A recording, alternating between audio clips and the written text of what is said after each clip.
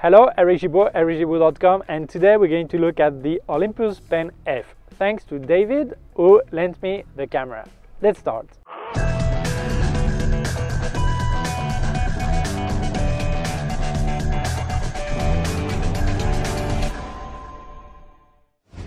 First of all, thank you again to David who uh, lent me the, well, David, say in English, his name is David, but is, this video is in English, I, will say David. Okay, thank you again. One thing uh, that is important is that uh, on some uh, website, uh, online stores, they're telling that this camera is discontinued. Uh, there is no confirmation from Olympus as it's still available on their website and there are some rumors that a new Olympus uh, Pen F Mark II uh, will come out. Uh, but they are just rumors, there, there are no confirmation at the time I made this video, okay? So I think this is exactly the right moment to review this camera. If it's really discontinued, it, this is the right time because first it's been on the on the street, on the road, on, on, on for sale for about two or three years. So we know uh, what's good, what's bad.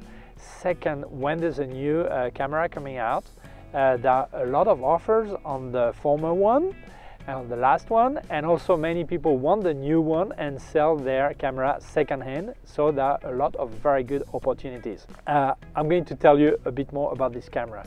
Right now this is the moment when many people make uh, advertisement for third-party uh, companies so I'm not going to do for third parties, I just tell you that below my videos I now put a list of my gear, my photography gear, with links to Amazon, Amazon UK and Amazon USA.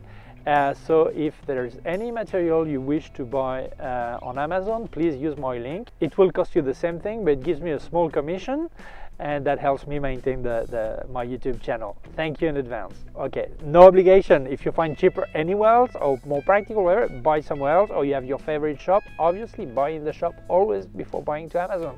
Okay, so let's carry on. So I'm going to give you a bit some, uh, some information about technical information about this camera.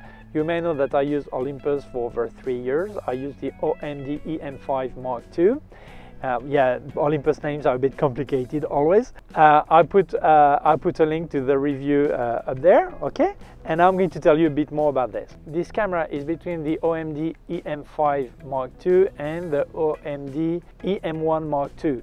So uh, the resolution is 20 megapixel, the same as the one Mark II. Uh, mine has 16 but there are some uh, features that on both that are on both cameras. For example, the live composite uh, that lets you do a long exposure is on this. You have the high res, but the high res the same as my camera, which is uh, 50 JPEG of 50 megapixels or RAW of 64. When the OMD1 Mark II has, uh, I think, is uh, up to 80 megapixel if it's in RAW.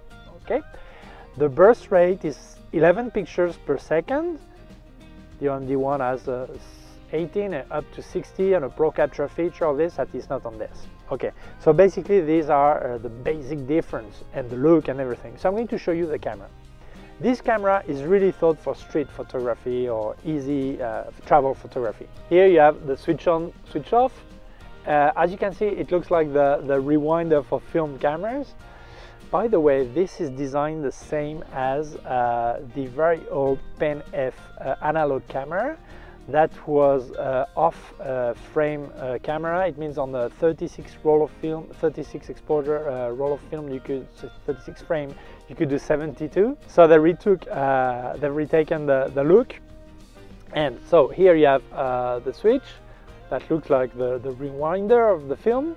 Here you have uh, typical uh, uh, change the mode, that manual, uh, aperture priority, uh, speed, but you have also uh, four profile configuration profile you can keep. On mine is only three. Here you have the exposure compensation button, it's very access. Here you have the video recording. It makes full HD, not 4K, it makes full HD, okay? And the shutter. And here you have the trigger, on the Leica 3F you have a low speed control here and here actually what they've put is uh, some uh, photography profile.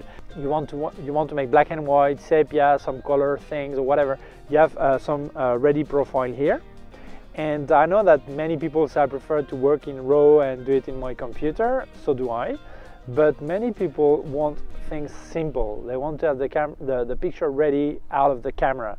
So they like to have this feature uh, in body. It's four thirds. I don't remove the, the, the lens to show you uh, the, sense, the sensor because it's very dusty here. You can put any uh, micro four third lens on it. Uh, although I always recommend to have the same make, the same brand. If you use an Olympus camera, use Olympus uh, lens. There are some Sigma also, but uh, if you want to cross over to Panasonic, there are some things that will not work. Like for example, uh, the focus stacking. Uh, I think focus stacking and maybe some other. They work only with the Olympus lens. Same thing in Panasonic. If you put an Olympus uh, lens on a Panasonic, there are some function features that work just with their lens and not with the Olympus one. So uh, always try to stay in the same brand. The way you see it's really nice. So to give you an idea, this comes with a, uh, well, David used it with a 17 uh, 1.8, uh, 17 millimeter, which is small. Uh, maybe for street photography, people like a wide angle, maybe like 20, equivalent of 28 or 24 millimeter.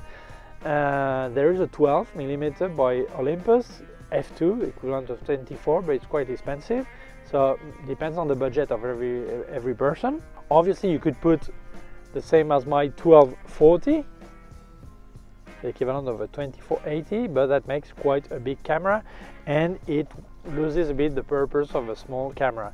But don't think this is that small. It's not much actually you look at the back it looks even bigger than my em5 uh, mark ii but the feeling is that it is small. It's compact. It's nice. You have it in your hand. It's nice uh, David uses it with a with a, a, case also so it's really nice camera. It, also has the, the front part so you can actually uh, cover everything. And uh, you can put any lens on it. Any micro four third obviously. And if you want a lens that is not micro four third like a Leica lens or Voigtländer or whatever you can use an adapter you have the focus peaking so you can actually manual focus and know exactly where it's focused. In the back you have less button than on mine so it's less not as easy to configure. You have a, a flip uh, a flip screen flip and can orient the, the, the, the screen completely. And you have the viewfinder on the left so it means it's like uh, telemet uh, it's like rangefinder photography. Actually look with your right eye and you can actually open your eye and see the whole scene. So for street photography is great because you actually see what is happening. You can decide to reframe your picture and here's this only point I found that is not good. Uh, that's a bit of a design mistake. First the viewfinder is not as good as mine. It's more like the first EM5 but that's not a problem. The only problem I found that here, as all mirrorless, you can actually configure that it jumps from screen to viewfinder automatically when you put your face on the viewfinder.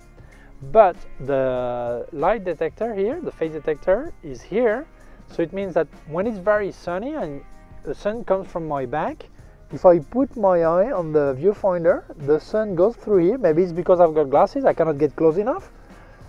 And it makes the camera think my face is not there. So it switch off the viewfinder and switch on the lens. The, it switch on the screen.